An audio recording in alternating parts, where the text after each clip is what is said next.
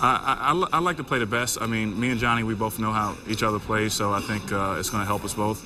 Uh, when I played that lady yesterday, she she was, I mean, she was unbelievable. She she just, I don't know, she just bluffed me out every hand and did every, everything it took. So. And it's tough for you when you don't know how somebody plays, right? Because you don't know what you're up against. That's exactly right. At least I know I'm up against one of the best players, so I kind of, I'm going to try to figure out a way to beat him. And what were you saying off camera right then? What were you calling him?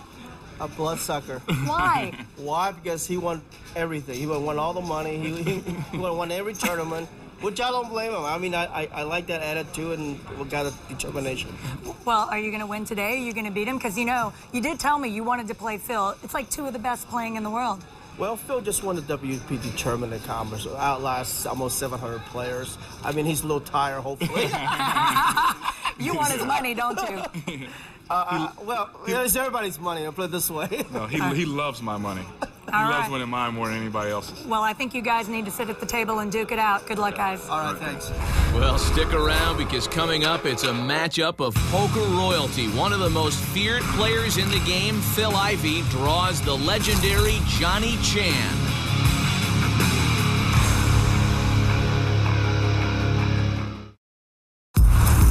Back to the National Heads Up Poker Championship presented by Vonage. We take you inside the Caesars Palace Tournament Poker Room for the matchup everyone's talking about Phil Ivey and Johnny Chan. You cannot say enough about both of these two players' accomplishments.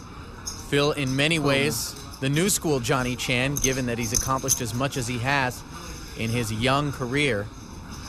Boy, look at these hands. Pocket fives for Johnny, aces for Phil. Yeah, a couple of pocket pairs. Pretty likely we'll see a flop here. Phil raises to 4,800. Not going to slow play aces. A lot of times in heads up play, we do see players too afraid to lose their man, not put in the re raise. Johnny calls. And the flop left to right 9 7 king. Three over cards and a flush draw out there. Not Johnny's favorite flop. Phil bets 6,000.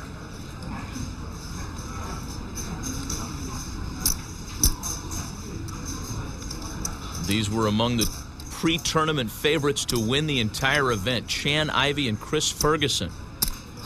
And as good as they both are, Matt, Ivey has never made it to this round, and Johnny has never made it out of this round as we see him wisely lay it down.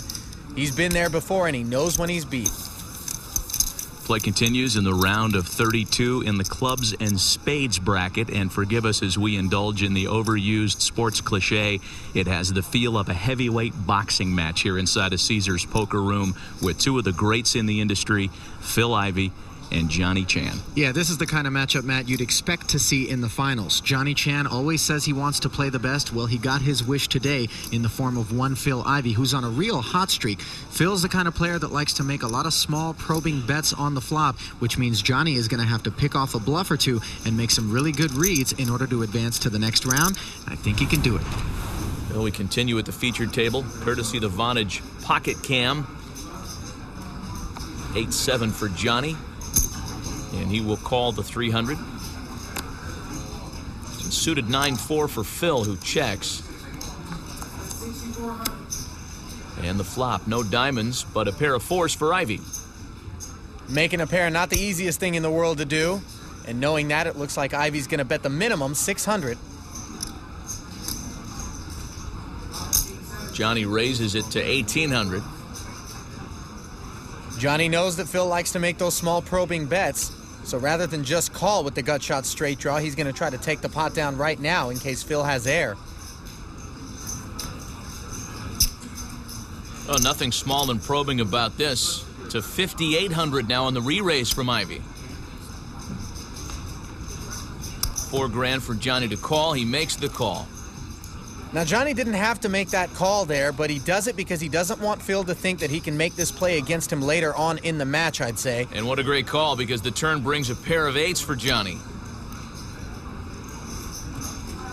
Phil checks. And he looked very disinterested there, like he was unhappy about the fact that Johnny had made the call.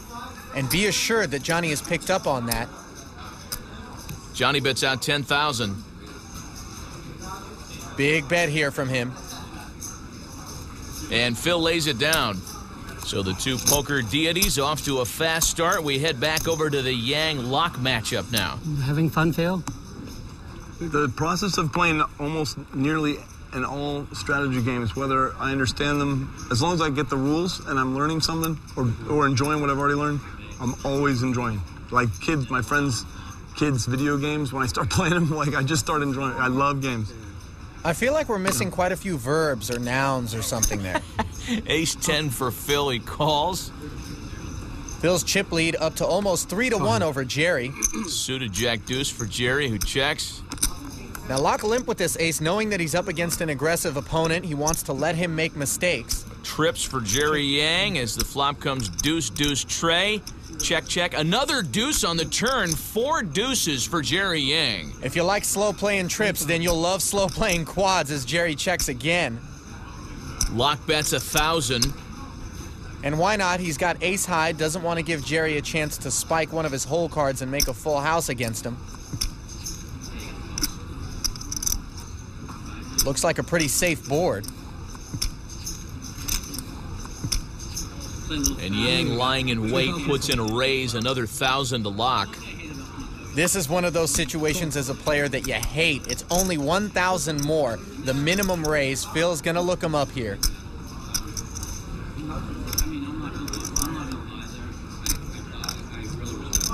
And now Jerry makes a bet of 5,000, to which Phil quickly calls, and Yang takes down the pot with his quads. Oh, he could have got it all. That's so sick. You could have got, you could have got it all in.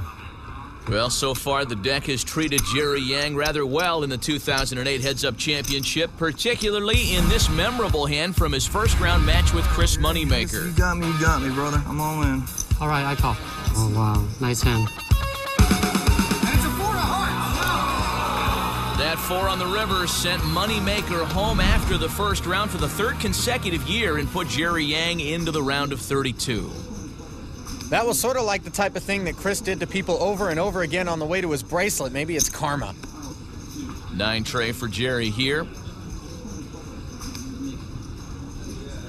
Line still at three and 600. Yang calls and ace 10 again for Laak. 2600. He raises to 2600. Not going to slow play a pre-flop twice in a row. Perhaps a bit bitter from running into quads. Call. Yang calls. Well, he's got to play out the one-hand rush with the old 9-3 off, right? Oh, and a little better flop for the ace 10 here. Aces and tens for Philly checks. Yang flopped a pair. The turn is an eight of spades. Two spades and three to a straight on the board now. Phil's not going to check it twice. Laak bet 1600. And Jerry with the pair of nines calls. Yeah, he's got a really weak kicker with those nines, but after Phil gave up control on the flop, he thinks his nines might be good. Deuce on the river. 4200. Phil bets 4200 now. Classic suction bet by him, only half the pot. And that deuce unlikely to have helped anyone's hand. And Yang is sucked into the suction bet. Phil Laak takes down a nice pot. Well, Jerry's momentum takes a bit of a hit. Calling with middle pair means Phil gets paid. More from the Las Vegas Strip right after this.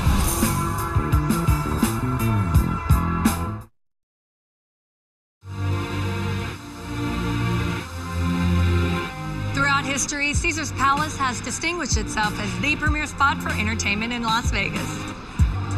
When you're at Caesar's, visit the Forum shops to experience some of the world's best shopping. Next, set your sights on taking in an unforgettable show. Bette Midler and Elton John make their home at Caesar's, and coming soon, Cher will join them. Before or after the show, enjoy fine dining at one of Caesar's top notch restaurants, including Rao's, Payard, and the award winning Bradley Ogden. Afterward, head over to the Shadow Bar or the world famous Pure nightclub and dance the night away. So, next time you're in the entertainment capital of the world, be sure to stop by the gold standard in resorts and casinos, Caesar's Palace. All right, back inside the tournament poker room where Phil Ivey and Johnny Chan continue to fight it out. Chan has the slight edge now, but the match is still in the early rounds. Queen Jack for Johnny.